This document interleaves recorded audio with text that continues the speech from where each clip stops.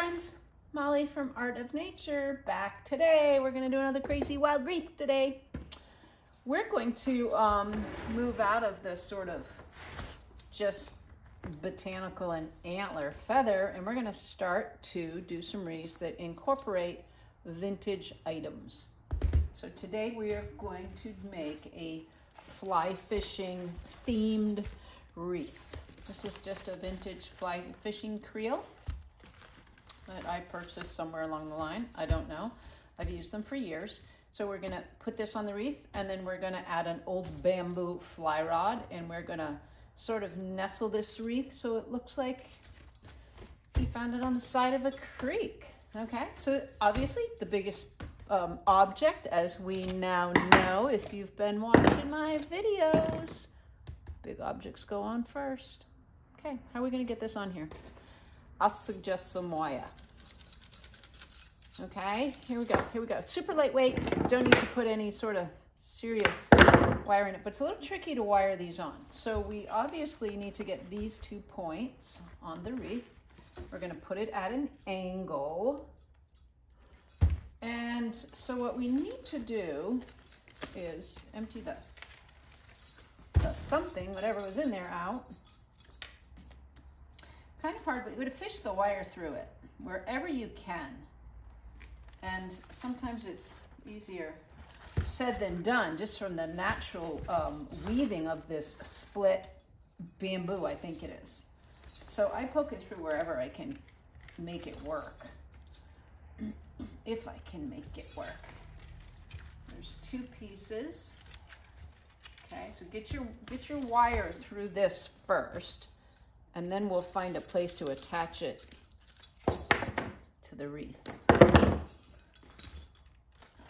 This one is so old it actually does have some holes. Some of them like this weave, it is so difficult even to poke a piece of wire through that, but that is just a stunning trio. Let's see, we're on this side, aren't we? Poke that through there somewhere. I see daylight, there has to be a hole. There we go, there's one. There's one, there's one, there's one. Let's see if we can get another one through.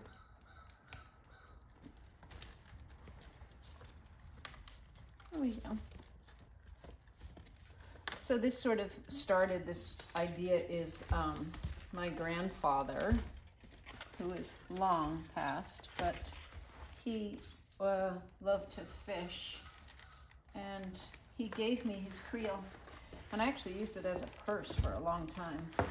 Okay, so the wire is through. We've put one piece through the center of the wreath here. We put one, or on this side, we put one through the center of the wreath over here. So now we're just gonna attach it.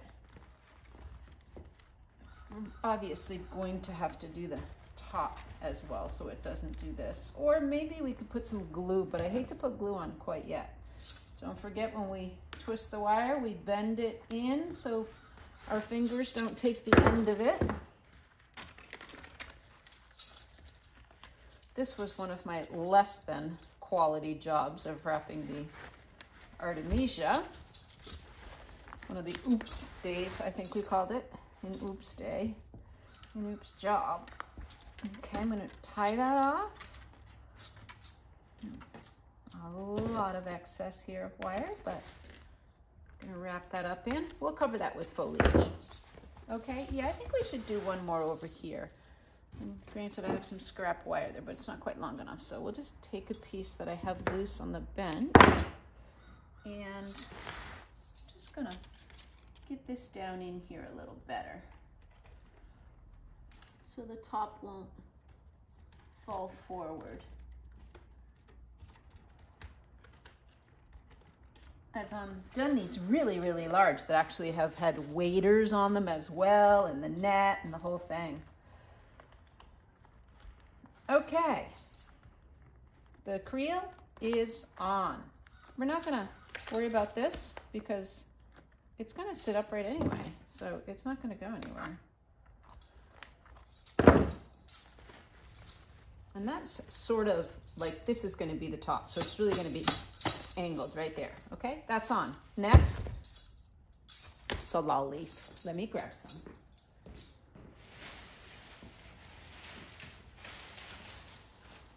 And here we go. Big object, big product. Right? We want to really give this a lot of length. So I'm leaving some long stems to start with, and then we'll do the short ones after we get the length we want in it. Okay. We're going to put a, a, the bamboo, which is a, an antique as well, fly uh, fishing rod on here. Some bird nests, we'll put feathers, we'll, we'll touch it up with all sorts of things.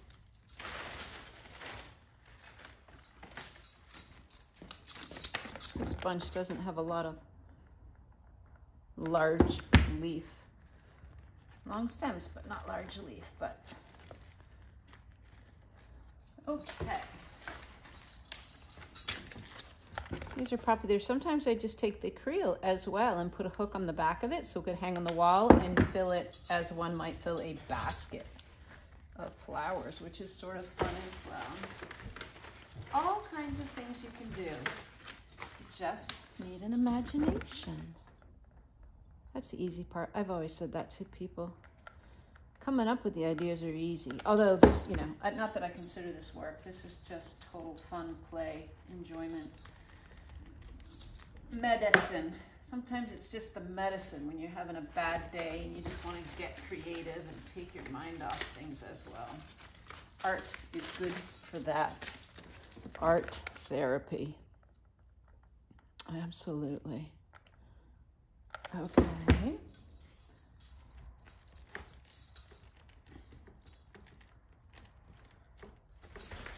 I'm really lifting these right off because this comes off the wreath so much so we can really add a lot of depth to this. That's a fun piece and it's sort of just super natural with its split stem. I'll put it right here. Easy enough to put right in the, all the way through, right into that foam, I mean, uh, straw base. Now we're going to put some up in this direction. Switch hands.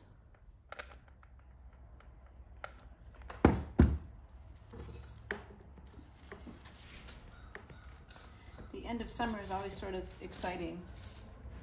Um, being that it's harvest season of the botanicals, so there's always a lot of new product on the market by August because it's, you know, in fresh this year's crops, which are nice. You have to wait hydrangea. I use a ton of hydrangea, but unfortunately, if I don't buy it in bulk in the fall in the, the fall of the previous year, it's limited until, you know, this time of year, September even.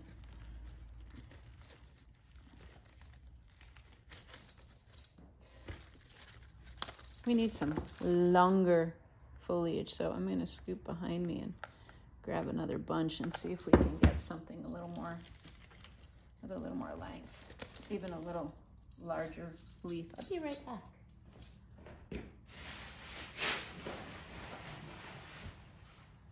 Here we have it.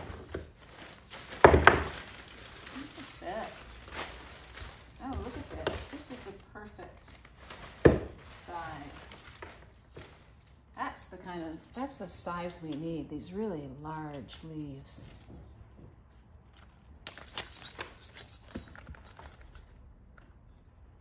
So I'll ask you all if you like what I'm doing, if you're enjoying these videos, would you kindly share them for me? Bring your friends. I teach fitness classes as well, and I always, it's sort of um, personal, you know. And I always say to the women, bring a friend because it's going to make it much more enjoyable. We all need a little backup from our from our buddies. That is just gorgeous. This is gorgeous, gorgeous foliage. Okay, we're gonna bring a little more out here. A little more out here. Let's see here. I don't know. I seem to have trouble choosing. Guess this one's sort of curved, so guess where this is going? Right up around that right side.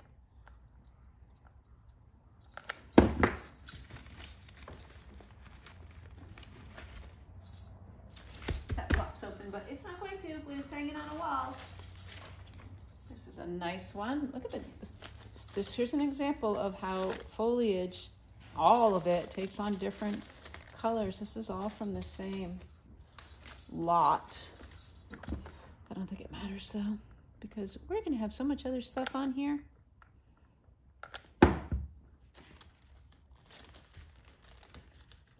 Oh, that went right in and moved this piece here. Commingling on the inside of the reef base. I'm sort of partial to this.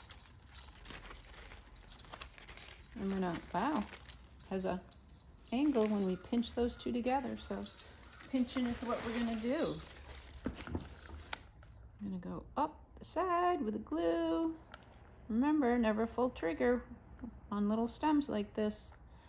We don't want all that excess glue more than the stems can hold because we know where it's gonna go.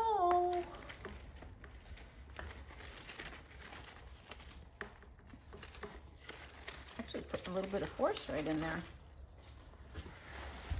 Okay, now we're gonna bring a little bit up, right up in here, so it really sort of closes that off. Even though it's a circle, we don't care if it's a circle or not.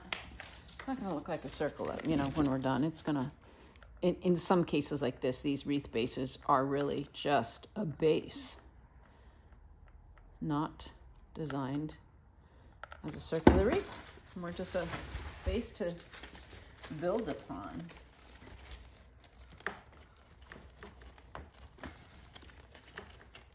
Ouch, got my fingers a little close to it, but it's bending a little bit, so.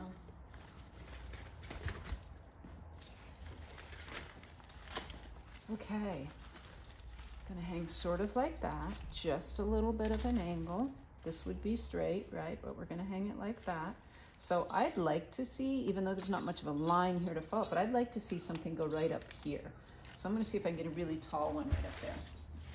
Would also be a perfect place for a branch as if this was truly lying next to the riverbed. That's even a little short, but that's a nice one. So let's save that and put that on there. Let's put that on there. You can choose who wants to be used here. I don't know. None of them are super, super tall. Maybe this one. We'll braid it. Can always pull it out.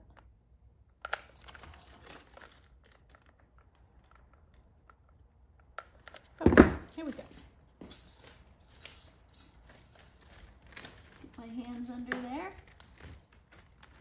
We'll follow this line with some other foliage after as well. Okay, and now I'm going to put this one on because it's just just a nice piece of foliage and I want to use it.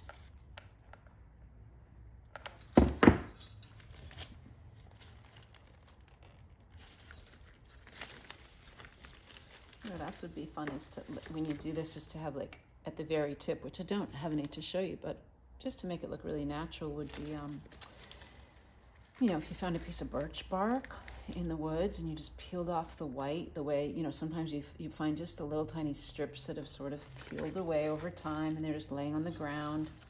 So nice to sort of visualize this, create the picture in your mind of what it might, that's another lovely piece, what it might look like, you know, if you sort of stumbled upon it in the woods. And try and recreate that vision. I mentioned um, on a video recently that I have this taxidermy pheasant that I want to work with, but I need a, you know, the perfect piece of wood to mount it to. Even though they're um, what do they call them? Upland birds, I guess. But I feel like it needs to, I can't just put it in grass, although that's probably more of its natural environment than driftwood or something. Okay, we might be close to done with the foliage for this moment. I'm gonna put this guy on. Sometimes it's just the fun little playful ones that catch my eye.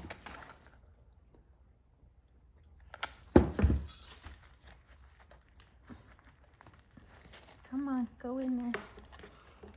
Please cooperate. Okay, here we go. I might have messed that up a little bit. My goodness. Think, oops. This one might need to go in that direction a little more. Let's leave it and we'll play with the next layer, okay? Let me pull this up and we'll put another quick layer on and then a little break. I'm gonna jump right in. I'm gonna jump right in and I'm gonna make it really natural with this chartreuse green color. And big product, so we're gonna put big pieces on. And I think it's a good idea that we create a stem. The glue stuck on my finger. So there's our stem. Where are our wire cutters? Tape it off just to hold it tight.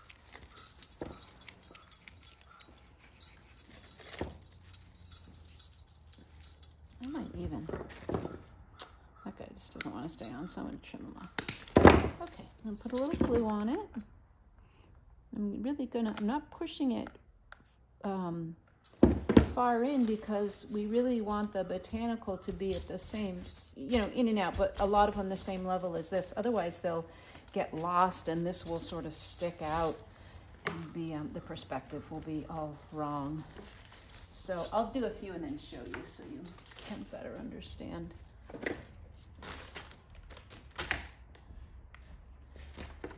Make a little stem for it. No, maybe I can tie that little loose one in that we trimmed off. Why not? Why not? Okay, let's get this guy in here. These are just, these actually are little wood stems rather than the covered wire. Pierce, pierce that um, plastic that's covering the base. This one has a nice thick stem and you can see how this is nice and tight, so we don't have to fuss with that. I'm gonna put it right over here, make it big, full, chunky.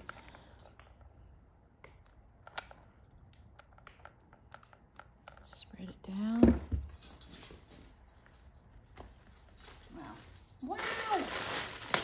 excited. Wow, this is a beautiful piece. It's big though, so I'm going to split this one off there. And that's how sometimes you can get a little bang for your buck, as they say. Cut that. It's nice and not, nothing's loose, so that's good to use. We're going to make this nice and thick. So we're going to put three large clumps on here.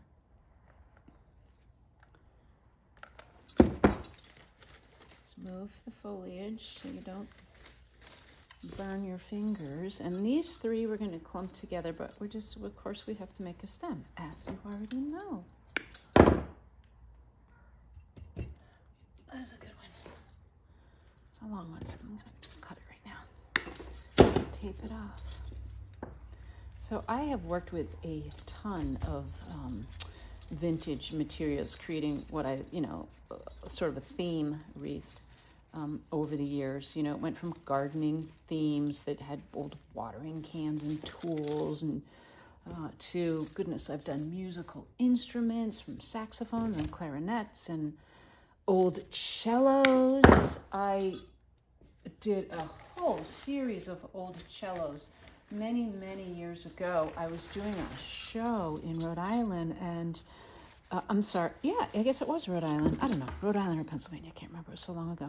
Anyway, this woman came in my booth and she loved my work and she bought a couple pieces and she said, You use a lot of instruments. And I said, Yeah, when I can get my hand on them. And she said, Well, my dad just recently passed away and he ordered, um, owned a music store and he did a lot of repair. And we have a bunch of cellos, and I'd love to if you want them. Some of them are damaged, but if you want them, please come get them. So that night after the show, I met her at her dad's place. I bought, I think, seven or eight cellos. Huge. Some of them damaged, you know, frets were gone. Some had, the wood was damaged. Seven of them for dirt cheap. I used every single one of them in work, like some on wreaths, some I covered with botanicals, some I smashed holes in and used it as a base, and I sold them all. It was just, they were fabulous.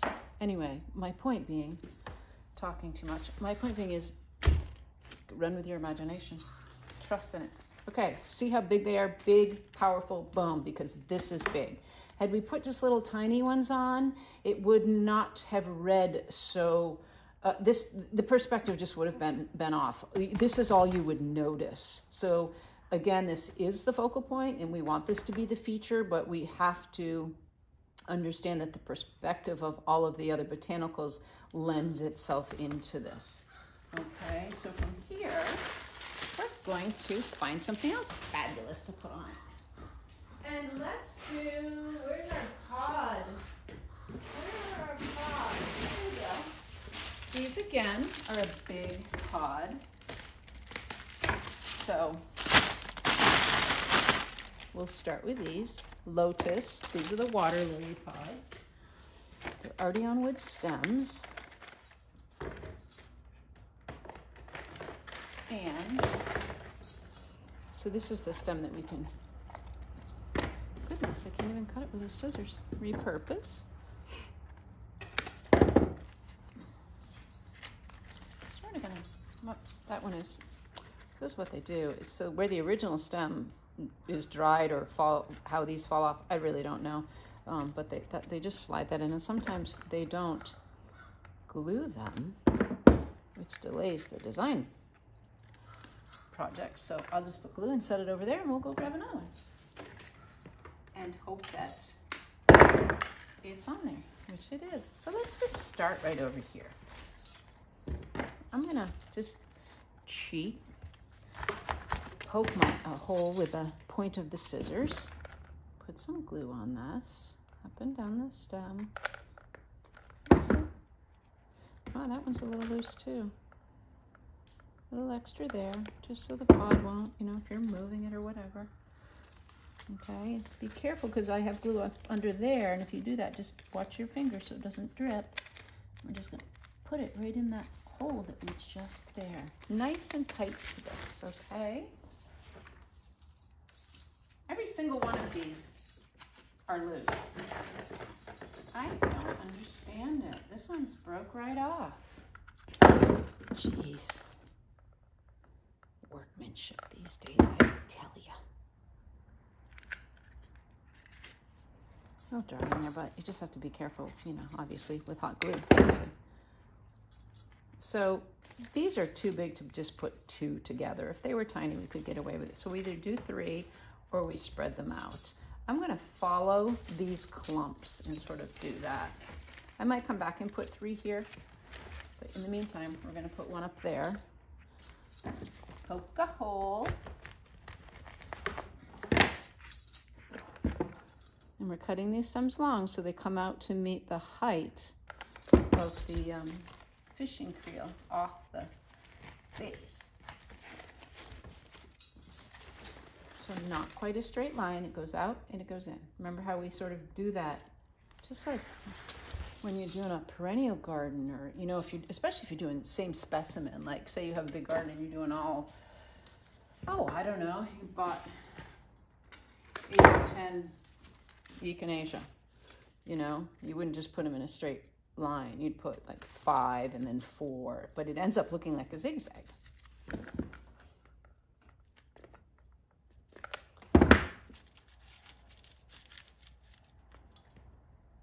I still want to spread that a little tighter. I'm a little unprepared here. Not paying attention. I'm talking too much. My hole in.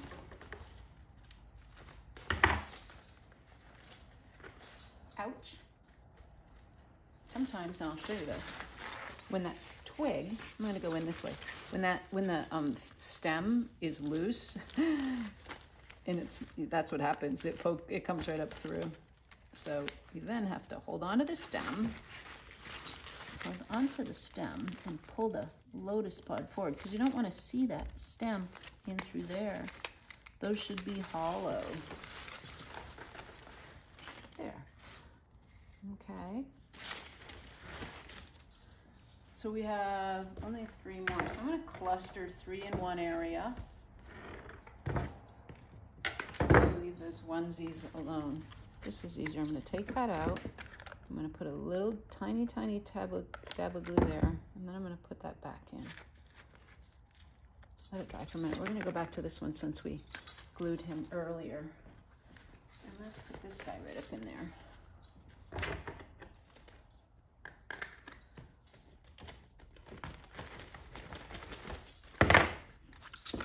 More glue.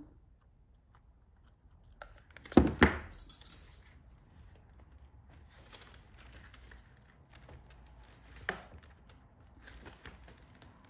don't think I found where the scissors were. Oh, there we go. I just got it in.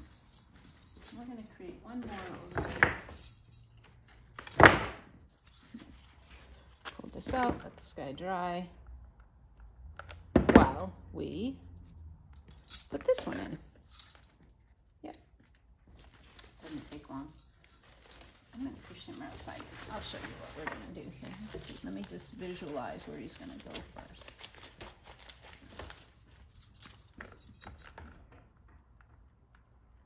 Still a little wobbly. Oh, be careful. We don't need my burning fingers on the video.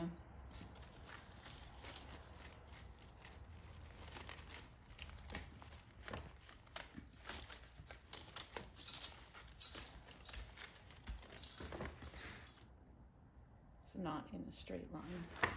Okay. I'd like to put this one here, but I almost feel like it's getting a little too heavy on the brown. So let's do that. I'm gonna clean up the bench, put a pile over here. We'll come back and we'll finish this, okay? Sounds fun, thanks.